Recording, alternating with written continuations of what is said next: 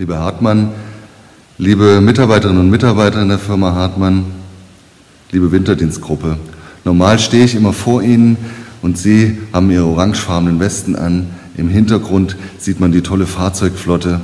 Und manche, die mich noch nicht kennen, wundern sich jetzt vielleicht, wer ist das denn, ein Pfarrer? Ich möchte, wo wir in dieser Corona-Zeit nicht so zusammenkommen, Ihnen eine kleine Videobotschaft schicken. Sie, liebe Damen und Herren, Sie machen einen lebenswichtigen Job. Wir würden sagen, Sie sind systemrelevant. Ohne Sie kämen viele von uns bei Schnee oder Glatteis in Gefahr. Und auch Sie selbst können ja in Gefahr geraten, wenn Sie im Dunkeln nicht gesehen werden, wenn Sie fahren und streuen, Schnee schieben. Ich möchte Ihnen dafür danken. Sie sind Lichtgestalten unserer Zeit.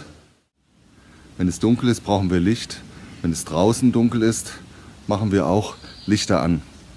Wenn es aber in uns drin durch Angst oder Sorgen oder Krankheit dunkel ist, brauchen wir Kraft und Zuversicht und Zuspruch. Wir Christen glauben, dass Gott am Anfang der Welt auch das Licht in die Welt gebracht hat. Es werde Licht und es ward Licht. Und Gott, da bin ich ganz fest von überzeugt, hört auch nicht auf, das Licht in unsere Welt zu bringen. Jesus ist das Licht der Welt. Das Licht scheint in der Finsternis. So können wir es in der Bibel im Johannesevangelium lesen. Das heißt doch, in jeder Dunkelheit ist Gott doch da, ja gerade da. Dieses Licht möchte ich gern ermutigend mitgeben, symbolisch für alle, die dieses Video schauen.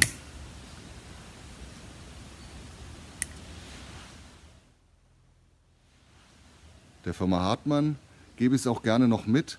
Ihr könnt es euch im Büro mitnehmen. Ihr stellt es auf euren Schreibtisch oder nehmt es mit nach Hause, ganz wie ihr wollt. Und vielleicht sagt auch der eine oder andere, ja, ich klebe es mir aufs Armaturenbrett, aber dann bitte nicht anzünden. Licht scheint in der Finsternis.